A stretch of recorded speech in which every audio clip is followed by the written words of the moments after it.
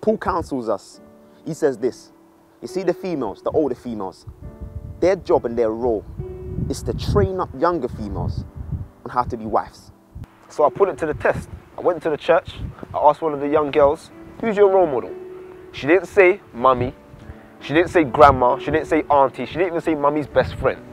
She said Nicki Minaj. When I was growing up as a young you, from the age of 1 to 10, my older brothers and my dad were my role models. When I got to secondary school, that all changed. The influence of the media blew my mind. Now my role models was the likes of DMX, the likes of Jay-Z, the likes of Nas and Mobb Deep. And at the end of the day, whatever they did, I wanted to do. How they were, I wanted to be. You see, society is saying that the things that we used to look at and say, don't do that, don't partake in that, that's bad, we're now saying it's all right, it's okay. Things like a one night stand. Females used to take pride in the fact that they had something that the man wanted that they can hold back on. But now we're flaunting. Now we're saying, on the first night, do the deed, it's okay. Now let me tell you something to the haters. Uh, there's nothing wrong with a one night stand. While I am married and all, you know, taken and everything, you know, I have lived as a woman. How do you think you get through things in order to be solid on the other side? You have to do stuff. So, and, and look, at me, Tatiana. If you're a responsible woman, with your own place and your own keys, and you've got birth control. And by the way, you have got a very. Everyone's grown, everyone's consenting. And didn't you graduate from Harvard? I did. Uh, hello? And she didn't have to go to college. Remember, she was very successful as a child actor. So if you want to have a one night stand, just call us about it. hey, Tatiana, Yes. there's something that I wanted to ask. You see, science tells us, and this blew my mind. The father is the key figure in the house. The daughter and the son are more inclined looking for the father's love.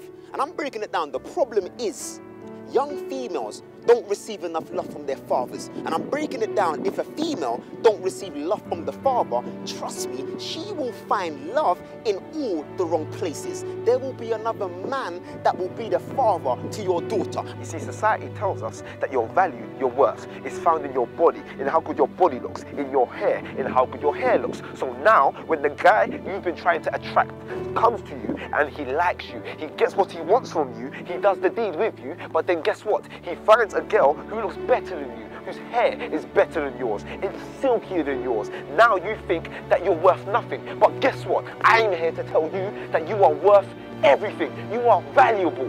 When I go on the news feed, when I go on the Instagram, the pictures of females with the most likes, I promise you, you see like a million likes, uh, a 10,000 likes. Guess what of? A female with her bum sticking out or a breast sticking out. Why is it that in our nation, in our society, we only click like as men and as females on other females who are wearing no clothes, who got only straight hair? What about the females with thick hair? What about the females with no body? I'm trying to break it down. The problem is this we need more females to stand up against this foolishness. Young females, especially, man. I'm not here to make it seem like I'm standing on a pedestal.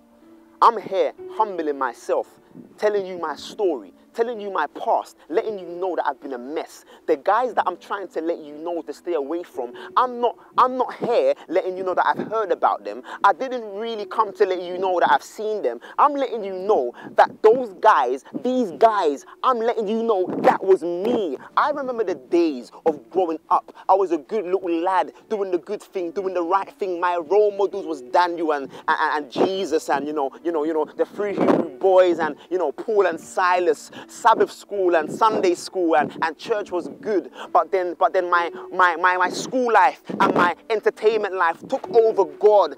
God was nowhere in my mind. And I'm breaking it down. I started to look up to the wrong type of people. I saw my brothers doing things that I was homaging. I saw the road youths doing things that I was looking up to. I looked at the rap videos and I said that I want to treat the females like that too. Deep down, I did not want to. But Because I was engrossed in that rubbish, it took over my mind. So imagine now, I got to the place where I could see a female on the road, in my school, wherever it was, in my church, you name it. She had ambition. She had a passion for life. She wanted to succeed. She wanted to make money and get a big car and have a family. She wanted to get married. But the sad thing is, she met me. And I'm not saying this proudly, I'm just being honest. The sad thing is, many of females who were trying to live a good life, they met me and I was broken. And broken people break people. Here's the sad thing I'm a Christian now, I believe in Jesus, but it's a bittersweet feeling. Simply because even though I'm here now, I'm forever gonna be a bad memory in someone's mind. Solomon is forever gonna be a negative experience in some female's mind. So, despite how much I love Jesus, that fact still remains. And it hit home to me. The things that I've done to females in the past, the, the dirt that I've done in their lives in the past, it hit home to me when my wife gave birth to our daughter. I held my daughter in my arms, and God literally said these words to me Solomon, the way you treated females in the past, do you know that there's some young rascal out there who's going to have the same intention, the same mind to treat your daughter like that? And that's when I said, no more. No way, no how. I'm saying right now, females, understand who you are. Understand the value that God has placed on your life. Understand that you are worth, listen, you are worth so much. Don't ever think in your life that you have to give your body away for foolishness. Don't ever think in your life that you have to give yourself away to be accepted. There's hope in all of this stuff. Females, no matter what you've done, I see females right now who are a downright mess, downright broken, downright been messed up by a guy that had no love in their heart. And because they had no love in their heart, they treated you as such. And I'm breaking it down. You can look at the, the timeline and you can look at females right now. They're, they're, they're, some of them are strung out on drugs. Some of them females are with men who beat them up and they come home every day and they're getting battered and bruised and they want to leave and they're thinking my lifestyle choices, the choices I've made has led me to where I am today. And you can look at yourself in the picture. You go to the mirror and you're thinking, look at my face. My boyfriend beats me up, but I love him so much. And I'm breaking it down. You go to the ring and you get that boy's number. Or should I say, he takes your number. And that same night, you sleep with him. And you go back home and you get up in the morning and you look in the mirror and you're saying, look at me. You're right there and you're looking at yourself saying, look what I've become. Look what you've become. You've allowed people to mess you up. But guess what? We're not getting at you. We're not mad at you. Now let's track back.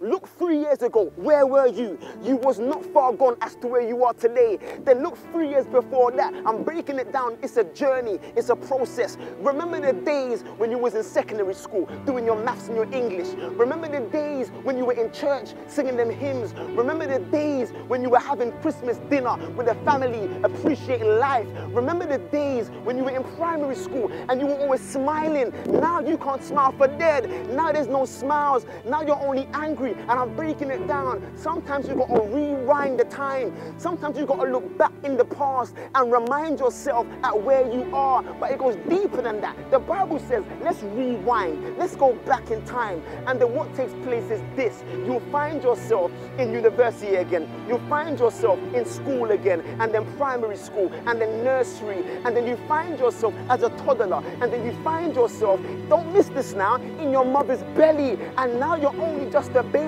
that ain't even born, and it gets deeper than that. The Bible tells me, I'm letting you know that before you were even conceived, the Lord had a plan for your life. I'm breaking it down. The plan that the Lord is having, or should I say, has had for your life, is a plan of victory, a plan of success.